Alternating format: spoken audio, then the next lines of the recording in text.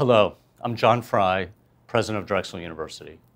I would like to take a few moments to assure you that we at Drexel are doing everything we can to safeguard the health and well-being of our more than 24,000 students, as well as our faculty and professional staff. This is a very difficult time for all of us, full of so many uncertainties. I want to thank and commend all of my colleagues at Drexel for their cooperation and support for one another and the entire university community.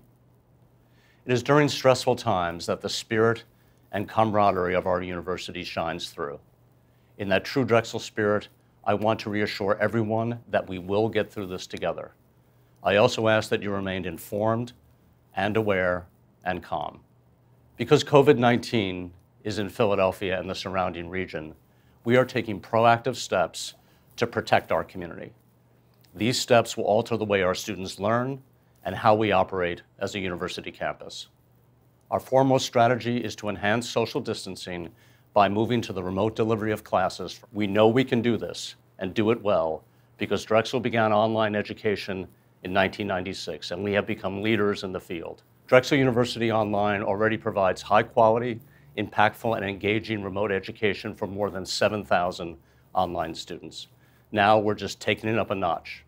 I can assure you that Drexel students will find it just as rewarding and challenging as any course taught in a classroom setting. We are communicating about each of the precautionary measures being taken through email, and you can find any updates on our coronavirus website.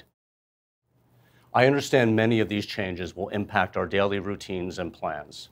This is a rapidly evolving situation, and we will continue to monitor any changes and keep the Drexel community fully informed. I thank you again for your patience and understanding.